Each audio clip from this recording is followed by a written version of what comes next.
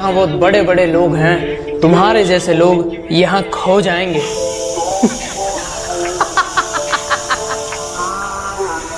कमाल करते हो। ये कल के आए लौंडे अपने बाप को चलना सिखाए।